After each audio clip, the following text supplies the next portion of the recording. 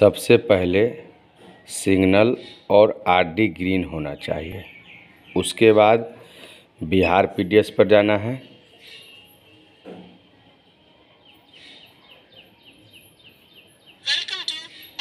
उसके बाद सेटिंग आएगा। उसके बाद डिवाइस के नीचे सॉफ्टवेयर अपवेयर है। उस पर ओके करेंगे। उसके बाद जी पी आर एस पर ओके करेंगे। इसके बाद यस करेंगे। कुछ देर छोड़ देना है। छोड़ने के बाद ऑटोमेटिक मशीन स्विच ऑफ़ हो जाएगा। उसके बाद ओके करेंगे। तो स्विच ऑफ़ मशीन अब हो जाएगा।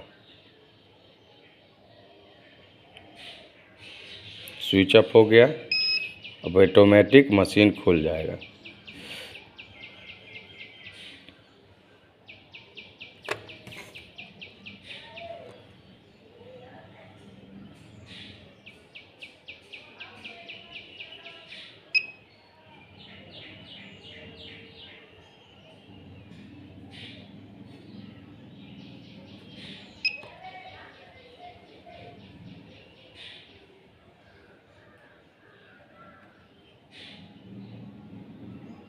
खुलने के बाद बिहार पी डी एस पर ओके करेंगे।